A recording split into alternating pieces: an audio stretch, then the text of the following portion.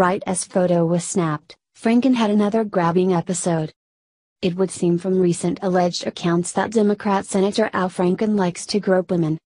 Less than a week after radio newscaster Leeann Tweeden shared a photo with the world showing how the perverted comedian turned politician groped her while she was sleeping in 2006, another woman has come forward and claimed that the senator grabbed her rear end while they posed for a photo together. Lindsay Menz, 33, described a gross experience she had with the senator in August of 2010.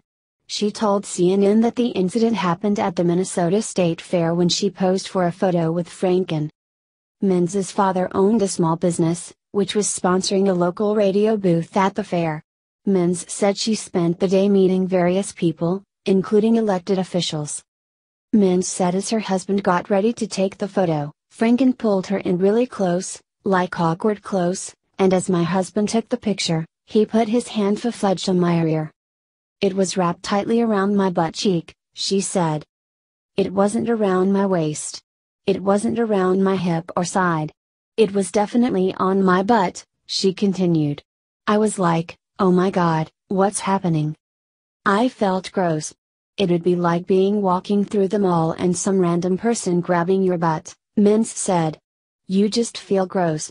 Like who? I want to wash that off of me. Menz's husband, Jeremy, told CNN that when his wife told him what had happened moments after the picture was taken, he was shocked. Menz's mother, Jody Brown, also told CNN that her daughter told her about the incident. Brown said she remembered Jeremy telling her, Our senator just groped my wife right in front of me. The phrasing there, our senator, is important. While Franken's behavior with Tweeden was gross, it was also between two private citizens. At the time of the Minnesota State Fair in 2010, though, Franken was a United States Senator. Menz was a Minnesota resident at the time, though she now lives in Texas. If this accusation is true, then, Franken was using his political power to assert dominance over one of his own constituents. Menz said that after Tweeden shared her experience Franken, she discussed what happened to her with family and friends, who encouraged her to go public, too. She said she hoped her story might encourage someone else who might have suffered from sexual harassment to speak up. Franken said in a statement that he did not remember the incident but that he felt badly that Menz felt disrespected.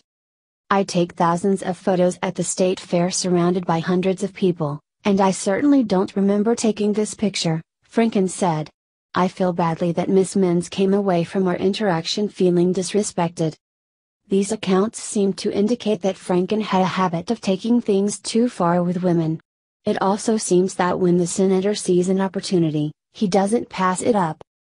Nothing can defend this despicable behavior. Time will tell how these groping incidents will affect Franken's political career. career.